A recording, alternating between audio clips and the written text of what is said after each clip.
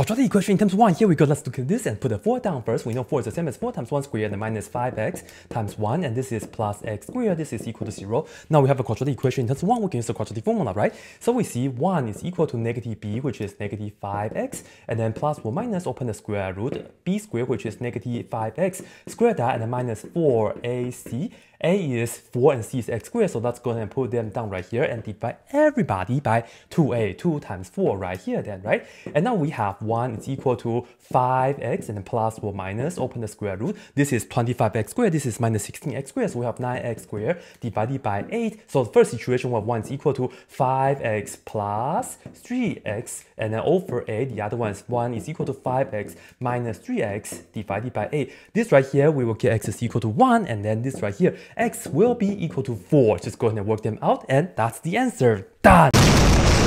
Okay, once you see this, so here we go. First of all, we're going to look at square that and then minus 4i. Okay, once you see how to solve, once you see this, you are not going to sense 1, that's equal to negative b, which is, uh, so we can use the quadratic formula, so x is 1, no. Okay, how about going to, hey?